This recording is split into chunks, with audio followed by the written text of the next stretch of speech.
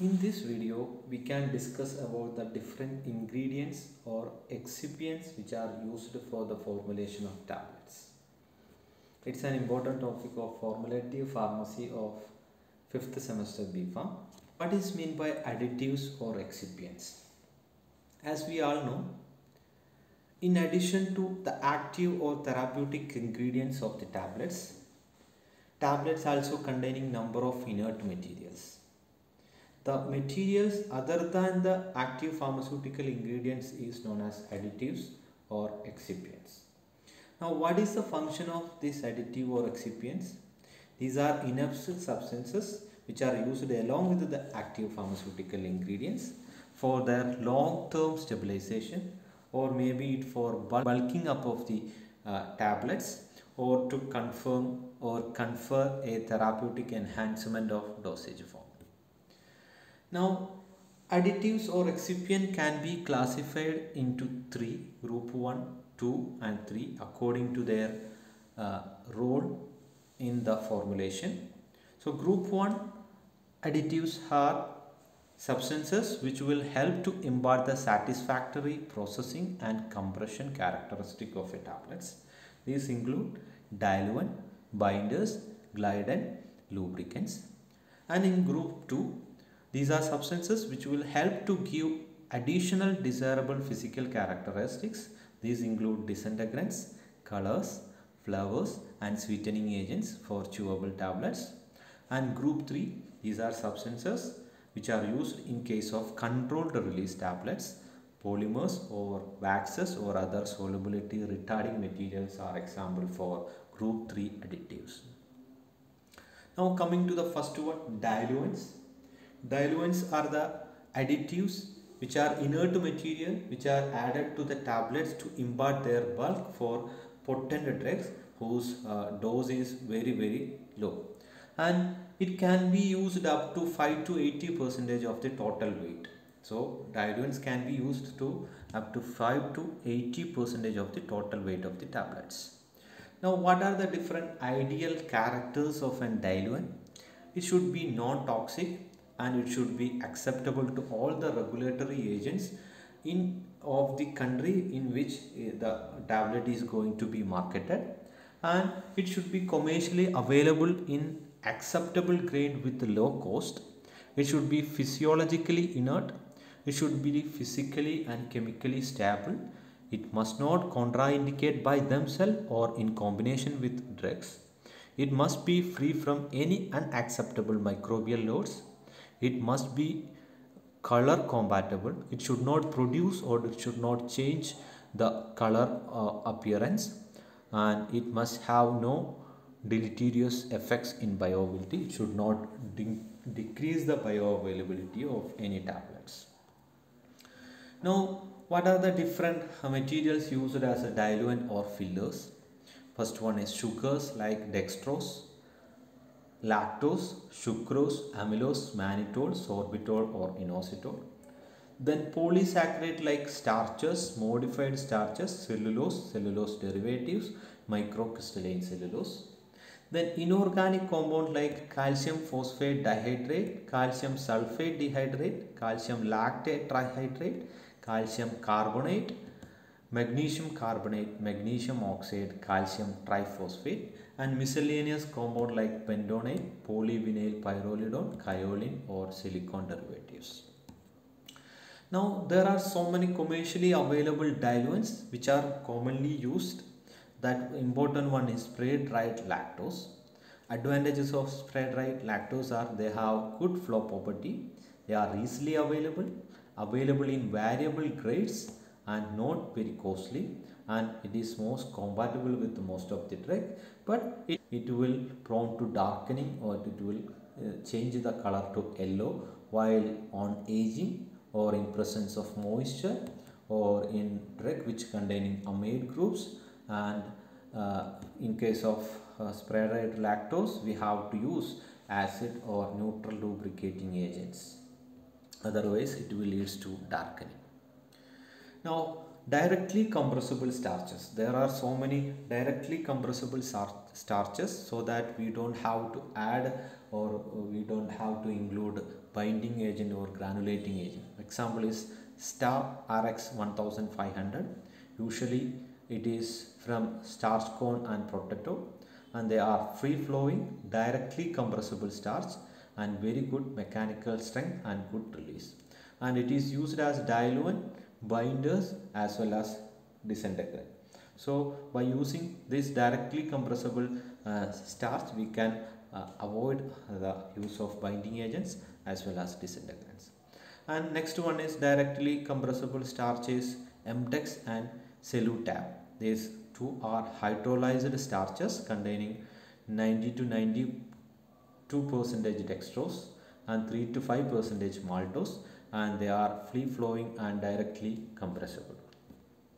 Now another directly compressible starch is microcrystalline cellulose. This is uh, mainly available in the name of Avicel and these are directly compressible material and available in two grade pH 101 as powder and pH 102 as granules. It is a good diluent and disintegrant but disadvantage is costlier. Now second additive which are used in the formation of tablet uh, preparation is binders or granulating agent or adhesive.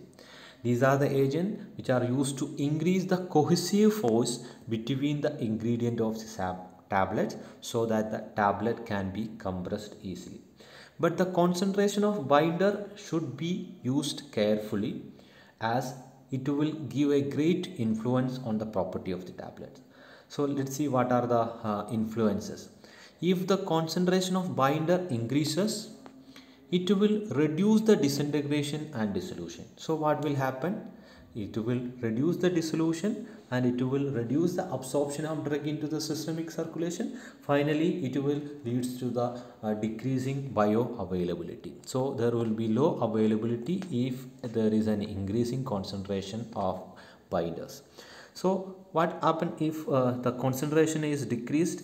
It will uh, defect in the compression and tablet will produce it without any hardness. So what will happen? It will get powdered during the packaging and transportation. Now let's see what are the different binders used. Acacia in 20 percentage it will give very hard and fragile granules. Gelatin 5 to 20 percentage will give uh, uh, strong adhesive and which is used in lozenges but uh, it will form gel in cold. So in order to prepare binding agent we have to need a slight warming of gelatin. Now starch paste most commonly used granulating agent and cheapest granulating agent is starch paste 1 10 to 20 percentage. Need to be a slight warming to get good result.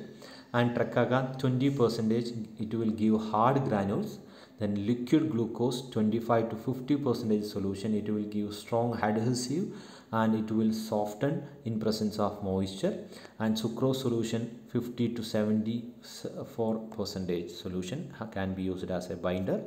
Then celluloic solution 5 to 10 percentage is commonly used. Different polymers like hydroxypropyl methyl cellulose hydroxyethyl cellulose and hydroxypropyl cellulose can be used as binding agents then uh, in case of non-aqueous granulation method, we can use polyvinyl pyrrolidone 2 to 10 percentage as well as uh, the drugs which are sensitive to water can be uh, replaced with the binding agent ethyl alcohol ethanol and also syrup IP 66.66 percentage weight by weight can be used as a binder or granulating agent.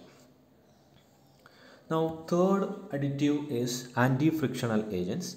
These are agents which are used to uh, in, uh, decrease the frictional force between the die granules as well as punches.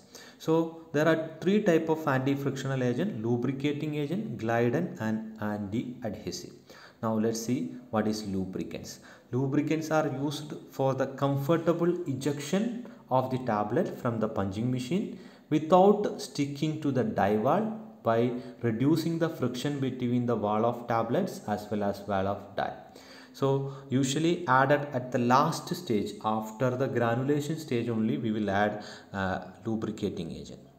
Now let's see what are the lubricating agent. It is again classified into two uh, insoluble and soluble lubricating agent. First one is soluble lubricating lubricating agents. Our examples are stearic acid, uh, calcium, magnesium, zinc stearate. Then liquid paraffin 5 percentage, sodium benzoate 5 percentage, sodium lauryl sulfate 0.5 to 5 percentage then talc, hydrogenated vegetable oil, polyethylene glycol, light mineral oil, paraffin, polytetrafluoroethylene, glyceryl palmitostearate are another example for insoluble lubricating agents.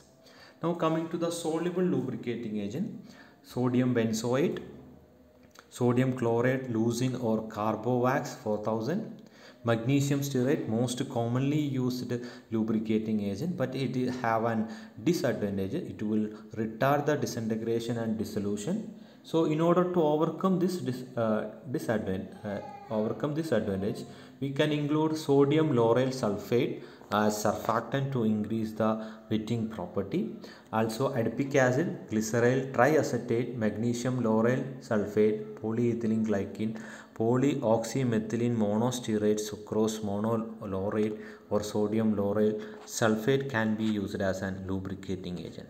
Next one is anti-adherents. So these are uh, anti-frictional agent which are used for the purpose of reducing sticking or adhesion of any of the tablet ingredient or powder to the faces of punch so example are talc, magnesium stearate, starch and colloidal silica are example for anti-adherent. And third one is glidant. These are the anti-frictional agent which are used to enhance the flow property of granules or powder by reducing the friction between the particles so that the granules do not stick each other. Examples are colloidal silica 0.1 to 5 percentage most common and excellent glidant property and talc 1 to 2 percentage and cornstarch are used as an glidant. Now next additive is disintegrants. Disintegrants, these are used for the purpose of breaking the tablet when introduced into a biological system. Then uh, examples of disintegrants are starch, clay, celluloid alginate, gum, etc. There are two methods for the incorporation. First method, the entire uh, disintegrating agent can be added before the granulation with the diluents or the second method, the major portion before the granulation and rest of the portion before the compression along with the lubricating agents. Now the disintegrating agents will act by different mechanism by swelling. Uh, examples of disintegrating agent which will act by swelling are alginate, starch dye, polyvinyl pyrrolidone, acacia, tragacanth, corgum and by wetting sodium lauryl sulfate, clay and bentonite. Then effervescence like sodium bicarbonate and citric acid. Capillary action microcrystalline cellulose, sodium starch glycolate, insoluble cationic exchange resins, cross-linked carboxymethyl cellulose and sodium carbonate glycine. Then enzymatic cellulose, cellulase and amylase enzyme. Now Disintegrant which are used in tablets are alginic acid or sodium alginate 2 to 10 percentage. Microcrystalline cellulose which are also known as Avicel as a brand name 10 percentage is used as a disintegrating agent. Sodium carboxymethyl cellulose or Nymcel 1 to 20 percentage and starch 1 to 2 to 10 percentage or const, uh, cornstarch or potato starch. So this starch can be used as an uh, diluent then binding agent and disintegrating agent. So starch paste will act as a binding or granulating agent. Starch powder if we are added along with the active pharmaceutical ingredient it will act as diluent. Now if we are adding starch at the after the granulation and before the compression it will act as an uh, disintegrating agent. Now super disintegrants. Super disintegrants are the disintegrating agent which will disintegrate the tablet within 1 or 2 minutes. So examples are cross carmellose which are cross-linked cellulose, crospovidone which are cross-linked polyvinyl pyrrolidone and sodium starch glycolate which are cross-linked starch and other materials which are can be used as an disintegrants are Veegum methyl cellulose agar bentonite cellulose alginic acid guar gum carboxy methyl cellulose. Next additive is adsorbent. These are the substances which is intended in the formulation when there is a fluid ingredient such as eutectic mixture or liquid extract or essential oil is there as an additive. Then examples are silica which is the most commonly used uh, adsorbent which it can absorb up to 80 percentage of the water uh, by its own weight and it can still remain as free flowing then magnesium carbonate and magnesium oxide and magnesium aluminum tri uh, aluminum silicate that is hygroscopic polyethylene glycol macrogol 400 it's a volatile ingredient which is used to prevent the loss of volatile ingredient such as nitroglycerin then cross linked polyvinyl pyrrolidones next additives or excipient is coloring agents. Coloring agents are mainly used for uh, uh, three purposes disguising of off colored text and for, for product identification and for for more elegant product now examples of coloring agents which can be used is titanium dioxide caramel uh, uh, then for the caramel other name is burnt sugar and brilliant blue FFS, FCF are some examples of coloring agents. Next additive or excipient is flavors or sweetening agents. These are limited to chewable tablets or other tablets which are intended to dissolve in the mouth to mask the bad taste and pleasant odor etc examples are sugar or mannitol 72 percentage as uh, sweet as sucrose. Cooling and mouth filling effect are also there for mannitol. Then saccharin it's an artificial sweetener with 500 times sweeter than the sucrose but uh, it has a bitter aftertaste as well as this is carcinogenic so this is banned then cyclamate uh, it is usually used alone or either with saccharin but it is also banned due to carcinogenic effect. Aspartame or ser which are widely replacing the saccharin and main disadvantage is lack of stability in presence of moisture. So these are the flavoring agents or sweetening agents so that is all about the excipient or additives used in the tablet manufacturing. So these are some questions seen in the question paper. Write short on excipient used in the tablet formulation. Write a note on disintegrants or disintegrating agents. Write a note on diluent or filler or write a note on granulating agents. Hope it is clear. Thank you for watching this video